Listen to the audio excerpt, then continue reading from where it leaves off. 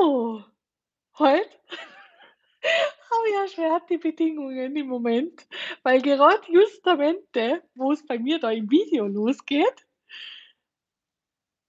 Mann, mein iPad, das muss unbedingt gerade die YouTube-App aktualisieren. Ich glaube, ich flippe aus. Schön. Okay. Hallo, hallo, hallo, ihr Lieben. Nochmal ein liebes Hallo in die Runde. Und jetzt hoffe ich, dass das dann da bald funktioniert, damit ich euch wieder sehen kann. Aber ähm, macht eigentlich auch nicht wirklich was äh, starten wir einfach einmal so los und ich quassel mal ins Blaue. Das bin ich gar nicht, gar nicht mehr gewohnt, wenn ich nicht sehe, was sich da so tut. Schön. Okay, ihr Lieben. Äh, wir starten jetzt gleich als erstes los wieder mit der Verlosung dieser Woche. Ähm, sonst vergesse ich das zum Schluss und das war ja ganz fatal. Und ihr wisst ja, diese Woche hat es gegeben das Stempelset wie Muschel, inklusive der passenden Standsteile natürlich als ganz original neu, eh klar, plus dem wunderschönen dazu passenden 3D-Prägefolder. Also es war wirklich eine ganz, eine ganz große Geschichte diese Mal, dieses Mal, was es gegeben hat oder was es jetzt gerade gibt. Und jetzt werden wir uns natürlich anschauen, wer das gute Ding gewonnen hat. Ich bin schon ganz, ganz neugierig und das ziehen wir jetzt als aller, allererstes raus. Ihr seht schon, durch das, dass wir unsere Verlosungen jetzt wöchentlich machen, äh, ist natürlich die Gewinnchance ziemlich gut. Okay, so, ich bin mal gespannt. Trommelwirbel, wer wird's wohl werden? Himmel, geh auf. Schön, okay. Die Angelika, was für Wahnsinn! Angelika, ganz, ganz herzlichen Glückwunsch zu diesem mega, mega Gewinn. Ich freue mich unfassbar. Das heißt, dieses Set bleibt in Tirol. Hat gar nicht so weit. Schön, ich freue mich. Gut, ihr Lieben. Das war also jetzt gleich die Verlosung und jetzt ist noch meine App soweit. Juhu. Jetzt kann auch das endlich losgehen, dass ich wieder in Ruhe mit euch plaudern kann, sonst geht ja das genau gar nicht. Okay, so, live. Gut, da klicken wir mal drauf. Live ist schon mal gut. So, okay. Also, ihr Lieben, dann möchte ich gleich ankündigen, was es nächste Woche gibt. Und zwar nächste Woche werde ich den guten Stemperatus nochmal verlosen. Und zwar mindestens einmal, möglicherweise aber sogar zweimal. Das hängt jetzt ein bisschen davon ab.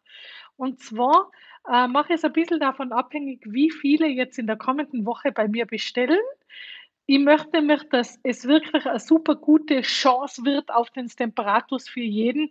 Und wir haben heute erfahren, heute in der Früh, dass Stampin' Up eine mega Aktion hat. Und zwar wird es ab heute Abend um 23 Uhr für 24 Stunden die Möglichkeit geben, versandkostenfrei zu bestellen, ab einem Bestellwert von 40 Euro.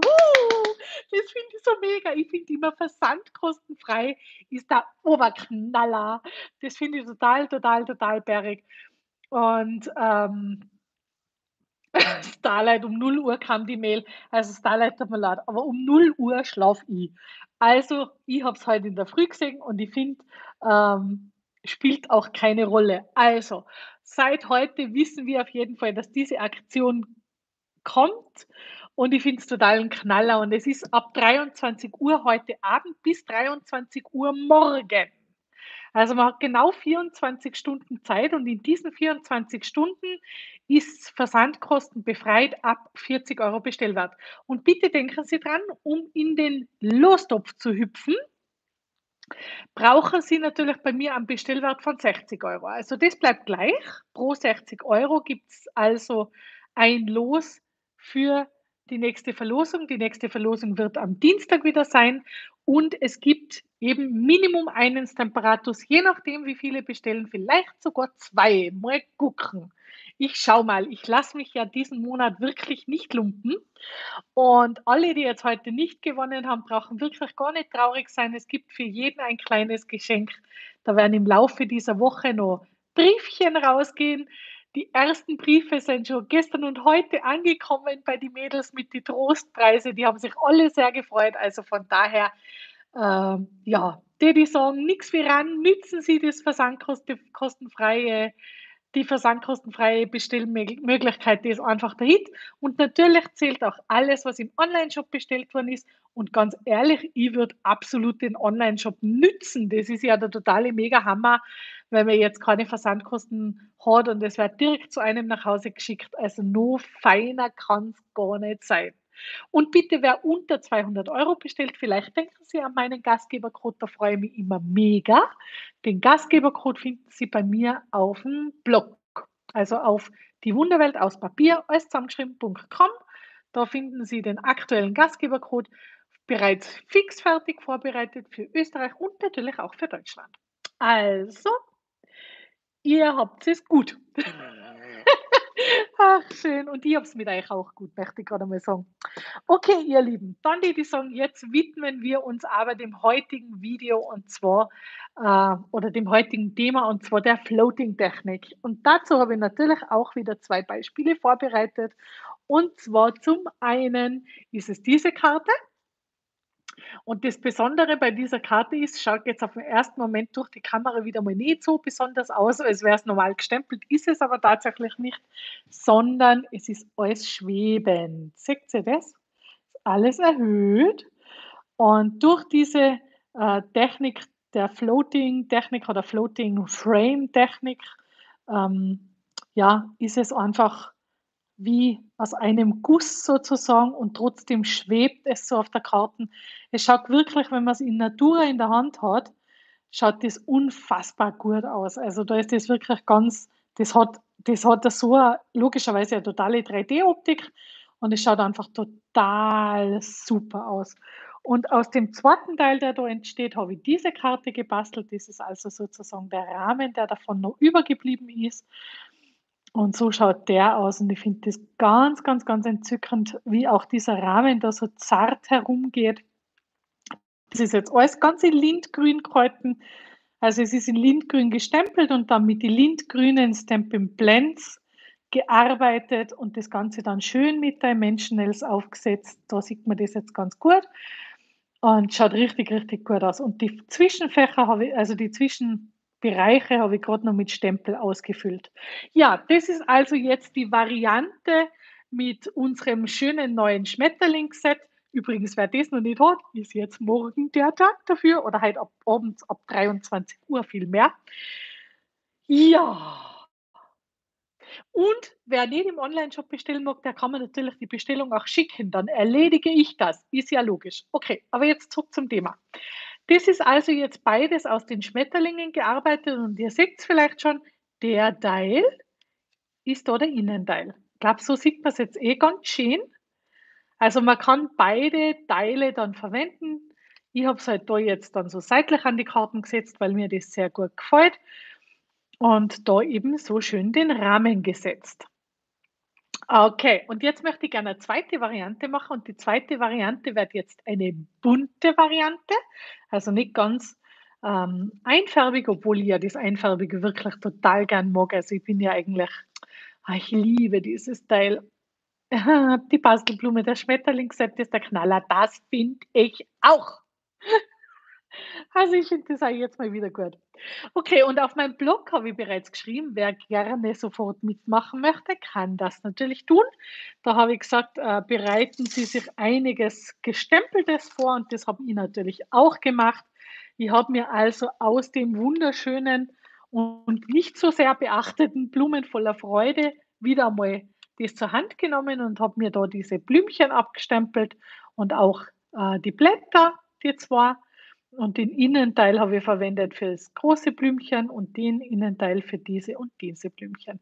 Also es schaut richtig total nett aus, finde ich. Und man kann wirklich total super ausstanzen damit. Also es ist ein ganz super Set. Ja, und dann habe ich mir von dem bestickten Rahmen den allergrößten genommen und den dritten dazu. Also da sind nur zwei Größen dazwischen. Den dritten sozusagen vom großen nach innen gezählt ähm, habe ich mir da dazu genommen. Und bei dem beginne ich jetzt, und zwar ist bei dieser Floating-Technik oder Floating-Frame-Technik oder schwebenden Technik, ähm, ist es ja so, dass man normalerweise die Teilchen, die man sich halt ausstanzt, dann auflegt. Und dann gibt es da so eine spezielle Folie, die so ein bisschen klebend ist. Ich habe damals ein Stück gekriegt von meiner lieben Claudia, von der Stempel-Claudi, die heute auch im Chat ist. Ähm, hat sie mir mal ein Stück geschickt von dieser Folie und das ist natürlich mit der Folie ganz gefährlich. Da geht das ganz gut, aber ich war dann irgendwie nicht bereit, mir so ein äh, so eine Folie zu kaufen und habe mir überlegt, das muss doch eigentlich auch anders gehen. Und ja, mir ist natürlich wieder etwas anderes eingefallen, wie man das auch nur lösen kann und das werde ich euch jetzt dann gleich zeigen. In erster Linie werde ich also da jetzt einmal alle meine ausgestanzten Teilchen da so auflegen und zwar einfach so, wie mir das gefällt. Ich habe mir dann da noch so die ganz kleinen Schmetterlinge jetzt dazu genommen, weil ich die eigentlich auch ganz süß finde. Und so ganz kleine Blätter habe ich mir da eben noch dazu geholt. Und die werden wir da auch reinlegen. Und ich lege das jetzt alles ganz dicht an dicht, weil bei dieser Technik das wirklich am schönsten ausschaut, wenn das da ganz dicht ist, aber nicht überlappend. Das heißt, da könnt ihr euch einfach ein bisschen spielen, das Ganze auflegen, wie es euch eben am besten gefällt ich mache das jetzt gleich. Ich plaudere halt mit euch in der Zwischenzeit ein bisschen und spiele mich da ein bisschen mit meinem Blümchen. Lege das eine dorthin, das andere dahin. Ich habe das übrigens gestempelt mit, ähm, äh, mit Kirschblüte und zwar den ersten und zweiten Stempelabdruck habe ich davon verwendet. Durch das habe ich so ganz hellrosane Blümchen gekriegt und auch die kräftiger rosanen. Und ich finde das ganz lieb, mir gefällt das total gut. Mir gefällt gerade auch das ganz helle, zarte da dazu total gut. Mit dem zweiten Stempelabdruck. Also auch da könnt ihr ruhig ein bisschen spielen. Okay, es fuchst da gerade ein bisschen. Ja, und so, so lege ich mir das halt auf und lege mir das dazu und bastel da ein bisschen rum. Und nehme mir da vielleicht noch die kleinere und guck mal, wie das am besten ausschauen könnte. Okay, dann schauen wir mal da. Und da könnte man noch so ein Grasal oder so ein Blattal dazu legen. Also ich, das ist jetzt momentan noch gar nicht so tragisch, wie dann das da so ausschaut, weil ich suche mir dann im Endprinzip, wenn ich das da alles so aufgelegt habe, dass es mir halt dann gefällt, dann suche ich mir ähm, den Teil raus, den ich dann verwende für diese, für diese äh, Technik. Ja, genau so. Genau so mache ich das. Okay, jetzt legen wir da vielleicht noch ein kräftigeres Blümchen dazu. Und da ziehen wir noch so ein Blattal raus. Ach, ich finde das ganz entzückend. Das legen wir nur daher. Im Prinzip braucht man ja gar nicht so viel. Also ich glaube, dass ich ja da mehr zugeschnitten habe, als ich brauchen werde. Aber das macht auch nichts. Dann kann ich mir ein bisschen spielen und ein bisschen schauen, wie es mir dann am besten gefällt. Okay. So, ich glaube, da legen wir nur das Blatt alleine. Da setzen wir nur das Helle dazu. Aber ich glaube, dass das dann so in etwa, glaube ich, schon reichen wird. Jetzt gucken wir mal. Jetzt lege ich mir da einfach einmal meinen Rahmen drauf und schau mal, wie das ausschaut. Aha, da könnte noch was Kleines her. Da setzen wir da noch das Blümchen dran und machen da noch die Blätter her. Dazu, dann schauen wir mal. Ich würde mal sagen, das schaut so ganz gut aus, oder? Was sagt ihr? So ist das jetzt richtig schön gefüllt. Die Teile brauchen wir also nicht. Die gebe ich jetzt gleich auf die Seite, bevor uns das irritiert. Okay, also so wäre jetzt ungefähr das Bild, wenn man sagt, äh, man legt jetzt diese leicht klebende Folie drauf. Und wenn man das aber nicht hat, dann kann man sich auch super helfen mit so einem wenig klebenden Deserband oder, oder Scotchband oder wie auch immer. Und zwar Lege ich mir jetzt zuerst nur gleich den zweiten Rahmen drauf, oder? Mache ich das jetzt nicht? Mache ich zuerst? Nein, mache ich nicht. Ich nehme mir jetzt da den Rahmen nur mal runter, ganz vorsichtig. Genau. Und jetzt klebe ich mir da diese Teilchen einfach einmal zusammen. Ich fahre jetzt einfach mit dem wenig klebenden Dixo immer wieder drüber. Und zwar immer wieder da, wo ich sehe, ähm, dass noch kein Kleber ist. Springt mir da schon fast entgegen. Okay. Und jetzt mache ich da natürlich auch noch zwei, drei Streifen quer, damit dann, wenn das Ganze ausgestanzt ist, mir das Ding nicht auseinanderfällt. Das ist zwar jetzt ein bisschen kleberintensiv, aber das passt schon so. Okay, und so habe ich die jetzt total schön miteinander fixiert. Also da fällt mir jetzt nichts mehr, nichts mehr raus. Ich fahre da vorsichtig drüber. Und jetzt kann ich das da ganz vorsichtig loslösen von meiner Arbeitsplatte. Durch das, dass das wenig klebend ist, lässt sich das ja da schön runterlösen. Und dann, also das ist im Prinzip, macht das jetzt dasselbe, als die gekaufte Folie machen würde, die ich da eben auch über irgendeinen Online-Shop bestellen könnte. Und so kann ich mir das jetzt drauflegen auf meine, auf meine Stanzmaschine sozusagen und klebe mir das da einfach mal auf meiner Stanzmaschine fest. Okay, schaut gut aus. Ihr müsst halt darauf achten, dass jetzt nichts Wunder wie drüber aussteht. Gell? Also, dass das da schön drauf liegt. So, und jetzt, jetzt lege ich mir da meinen Rahmen drauf. Weil jetzt kann ich mit dem Rahmen nur hin und her schieben, wie ich das gern möchte. Und ich glaube, ich mache das wirklich genau so. Und auch den fixiere ich mir da jetzt gerade mal an der Ecke heraus, links und rechts. Und das ist jetzt gerade meine Art, wie ich das mache. Gell? Ihr könnt das natürlich auch anders machen. Vielleicht habt ihr noch andere Idee, wie das gut ginge. Ich habe halt heute überlegt, wie könnte ich das machen ohne diese Folie. Und da ist mir das so eingefallen. Und das hat ganz gut funktioniert und damit bleibe ich bei dem System. Und dann lege ich mir jetzt das in der Mitte rein, so wie ich das gerne haben möchte. Ihr könnt jetzt das natürlich auch schräg reinlegen. Ihr könntet jetzt auch ein Oval nehmen. Ihr könntet jetzt nehmen, was auch immer ihr wollt. Mir gefällt das mit der Rahmen in Rahmengeschichte ganz gut. Von daher lasse ich mir das jetzt gerade so und schaue, dass da in etwa der gleiche Abstand rundherum ist. Das sehe ich jetzt da eigentlich über die Kamera sehr, sehr schön, sehe ich gerade. Mal schauen, ob es so passt.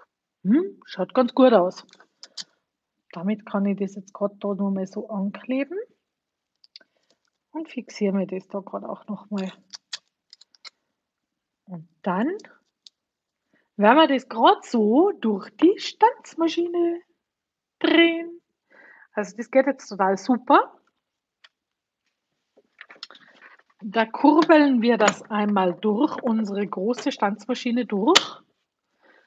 Das wird jetzt ein bisschen laut sein, aber das macht jetzt auch nichts. Einmal Vorsicht. So. Und schon haben wir das ganze Ding da durchgeschoben.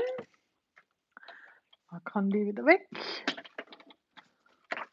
So, da. Und wir können uns das von dieser Platte runterfriemeln. Also es ist ein bisschen eine Friemelarbeit, aber es lohnt sich. Und solche Teile kann man sich natürlich aufhalten und dann für die nächste nochmal verwenden am Rand.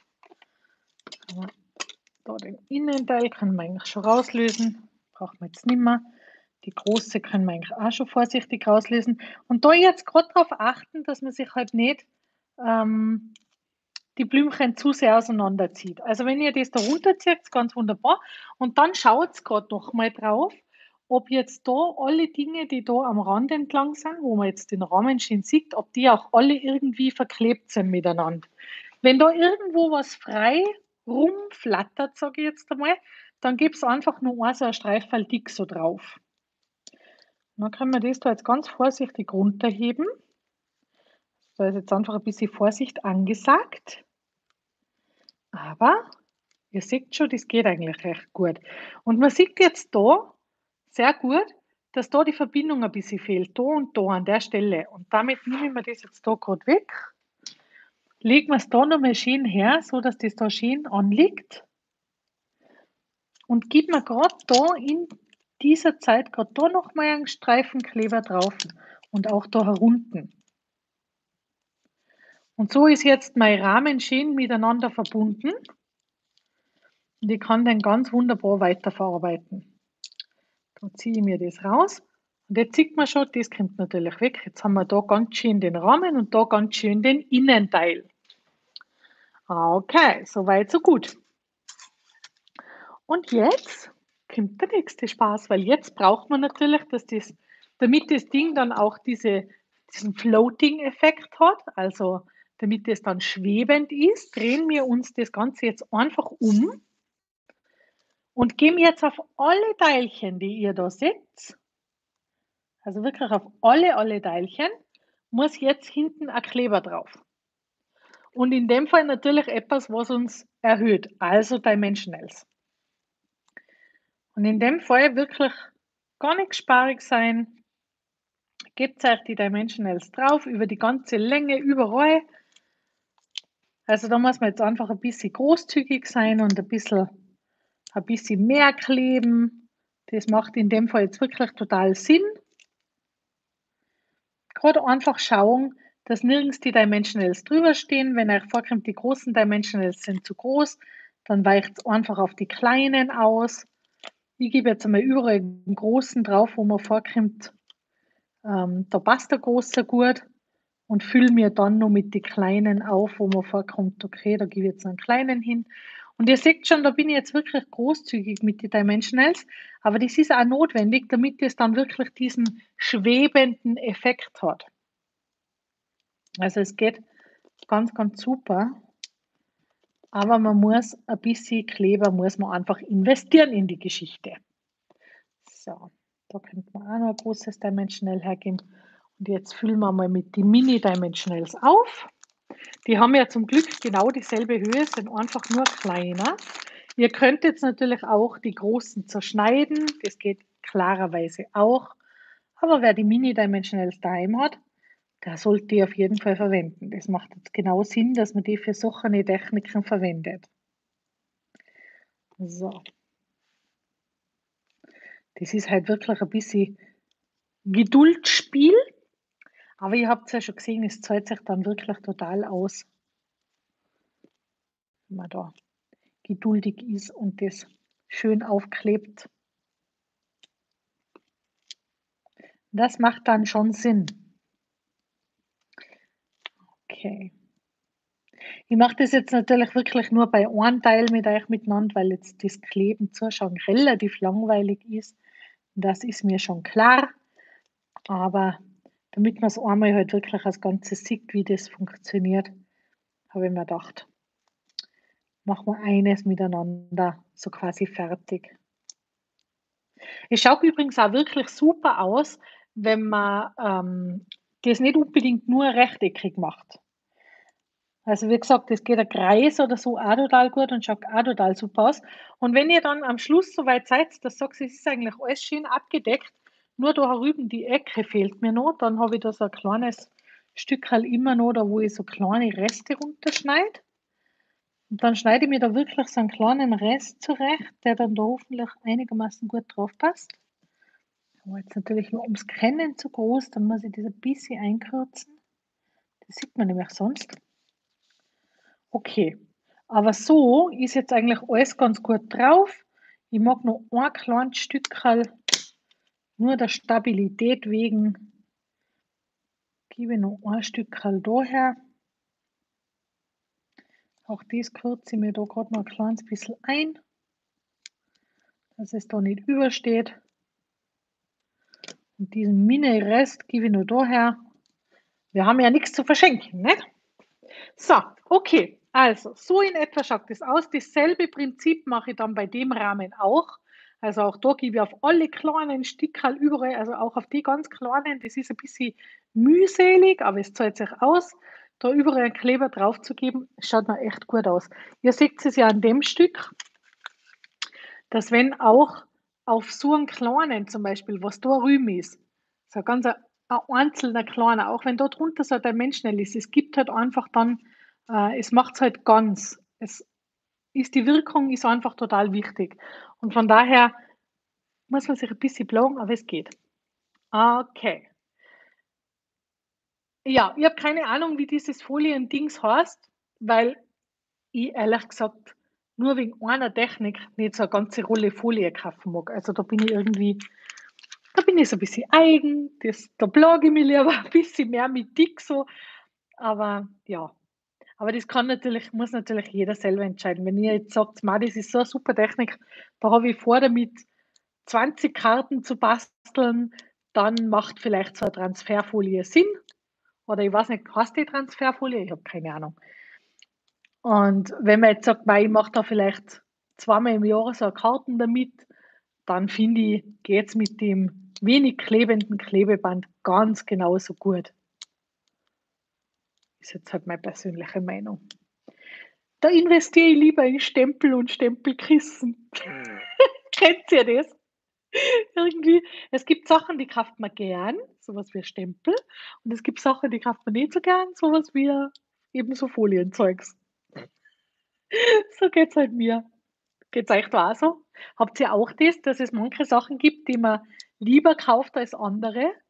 Wo ihr sagt, hm, das ist mir jetzt ausgegangen, brauche ich halt, aber Spaß macht es nicht. Da muss ich immer so lachen bei meinen ganzen Stempel-Beginner, wenn jemand so ganz neu bei Stampin' Up bestellt. Dann finde ich, ist das immer auch so bei der Schrubbkiste. Also die Schrubbkiste ist so etwas, ähm, das braucht man einfach. Damit man richtig gut arbeiten kann, braucht es so eine, so eine Schrubbkiste. Aber die ist natürlich nicht super zum Kraffen. Ist ja klar, oder?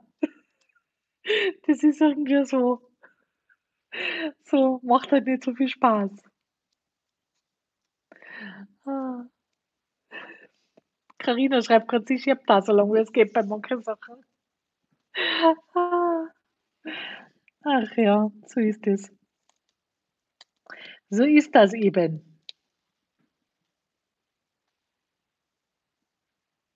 Ja, genau, diese die Folie ist scheinbar äh, scheinbar nehmen die die wirklich als Frischhaltefolie in in Amerika. Also ganz für für mich persönlich ganz schräg, aber das ist das ist halt so. Da merkt man halt schon andere Länder, andere Sitten, das ist einfach so.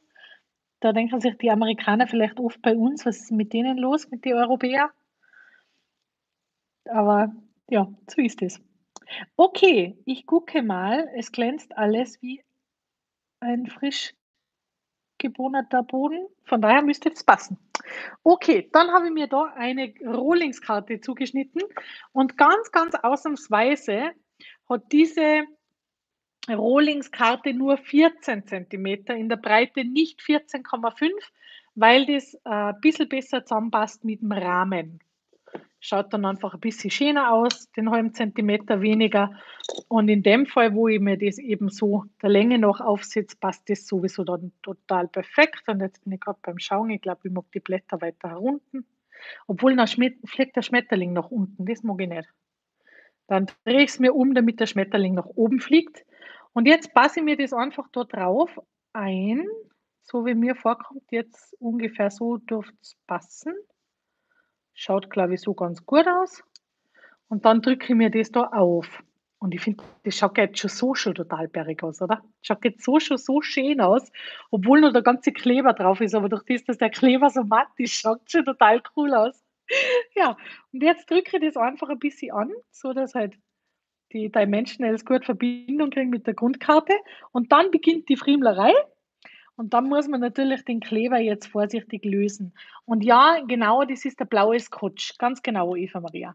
Und da ist jetzt ganz wichtig, wirklich vorsichtig abziehen, den Kleber, dass man sich ja nicht irgendwie ein Papier mitnimmt. Aber ihr seht schon, das geht wirklich relativ gut. Also, obwohl es durch die Maschine durchgegangen ist, lässt sich der wirklich recht gut lösen. Wer dann gleich eine zweite Karte macht, kann sich diese Stücke ja gern aufbewahren und nochmal verwenden. Die sind ja jetzt deshalb nicht kaputt. Und die löse ich mir halt wirklich einfach von der Karte als Ganzes runter und schaue, dass ich alles mitnehme. Da draußen ist noch ein Stickerl, das müssen wir natürlich auch noch runterlösen. Aber ihr seht schon, das lässt sich recht gut lösen.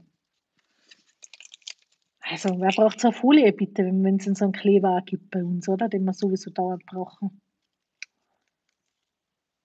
So, und das ist jetzt schon das letzte Stückchen.